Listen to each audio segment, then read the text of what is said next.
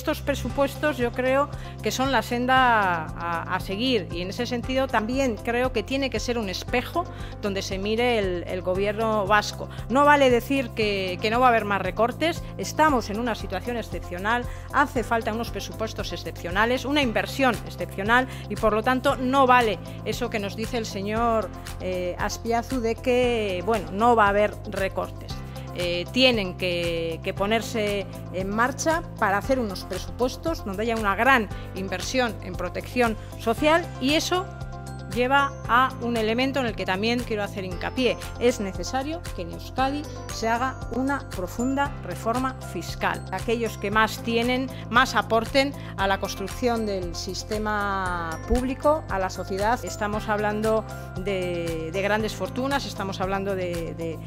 grandes corporaciones, estamos hablando de que no recaiga la tributación en las rentas de trabajo, en los trabajadores y en las trabajadoras, sino en aquellas eh, actividades más especulativas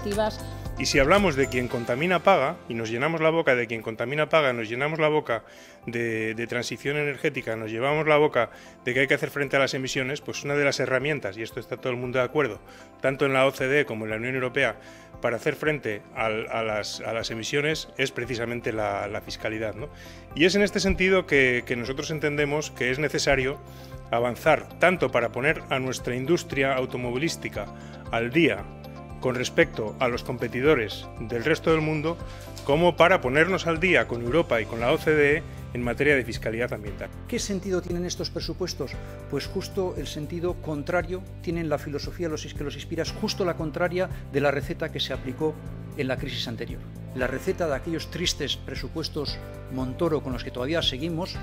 que venían redactados por las derechas, por el Partido Popular, con el, con el apoyo del Partido Nacionalista Vasco, desgraciadamente con esas recetas austericidas impidieron que Europa pudiera crecer en la medida que podía haber crecido. Un 151% más de inversión en sanidad, el 70% más en educación o de, un 80% más en investigación, desarrollo e innovación. Más de 600 millones que van a ir, por ejemplo, destinados a reducir las listas de, espera, más de 700 millones, para configurar un sistema de, de cuidados, cambios estructurales, cambios puntuales en políticas, en recursos residenciales, e innovación tecnológica para que nuestros mayores puedan vivir eh, mejor.